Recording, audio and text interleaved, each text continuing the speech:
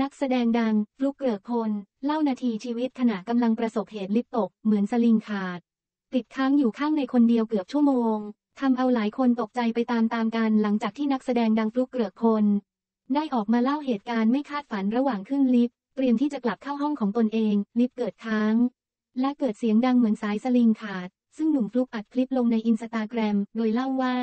เมื่อกี้เพิ่งไปต่อยมวยและฟิตเนสมากำลังจะกลับห้องขึ้นลิฟต์มาอยู่ดีๆ ได้ยินเสียงอะไรบางอย่างมันดังตื้นเหมือนสลิงที่อยู่บนลิฟต์ขาดรู้สึกอย่างนั้นจริง ๆ แล้วก็มีฝุ่นตกมาจากเพดานลิฟต์ที่โหดกว่านั้นคือมันเหมือนลิฟต์เบรกเอียดตึ้ง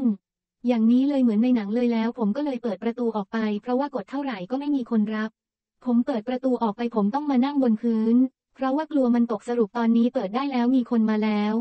แต่ว่าเขาต้องเดินทางมา เพราะเขาอยู่อีกที่หนึ่งผมเปิดประตูไปประมาณ10นาทีแล้ว เขาเดินทางมาอีกประมาณ20นาที ซึ่งตอนนี้ผมติดอยู่ชั้นใต้ดินแล้ว เขาบอกผมอยู่ชั้นหนึ่ง ผมเพิ่งรู้ข้างบนที่คุยกับผมคือชั้น G งงว่ะ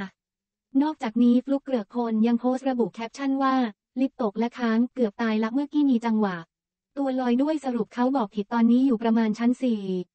ก่อนเจ้าตัวจะเข้ามาอัปเดตสถานการณ์ในช่องคอมเมนต์ว่า ออกมาได้ละ ซึ่งก็เพื่อนพ้องในวงการ รวมถึงแฟนๆต่างเข้ามาแสดงความเป็นห่วงอย่างมากมาย